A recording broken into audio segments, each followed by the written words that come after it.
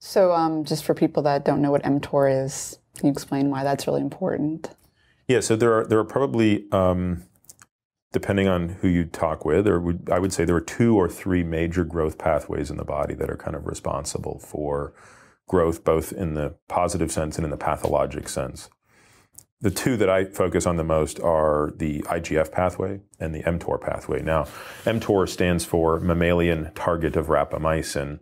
Um, I think for the sake of time, I will not tell my favorite story, which was is a, is a story that is both the discovery of rapamycin and uh, perhaps more interestingly, the elucidation of how it worked.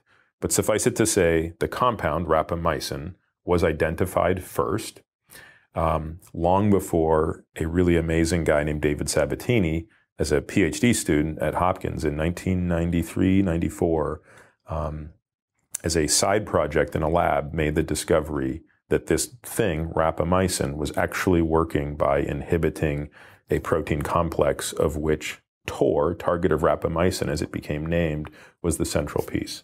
We now know today that it can form into two complexes. One is called mTOR complex 1 or mTORC1, and the other is mTOR complex 2, TORC2. Um, and we also know that it exists in different tissues and it has different activities in different tissues. And so, like most things in the body, too much or too little is a bad thing. So if you have no mTORC1, for example, in your muscles, you'd wither away, and that would be a debilitating condition. And in fact, for people with muscular dystrophy, one of the things you want to do is figure out how to alter that pathway. But similarly, we know that over overactivity uh, is, is, predisposing us to aging, and of course, certain diseases of aging like cancer.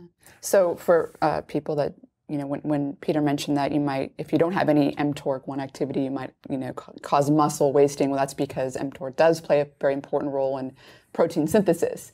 And uh, what's very interesting is that both the two pathways that you mentioned in being involved in aging, mTOR and IGF-1, uh, IGF-1 actually increases mTOR activity. So you know they're, they're yeah these aren't these aren't independent pathways. Right. Yeah. And what's also very interesting is that they're both uh, regulated by amino acid intake, right?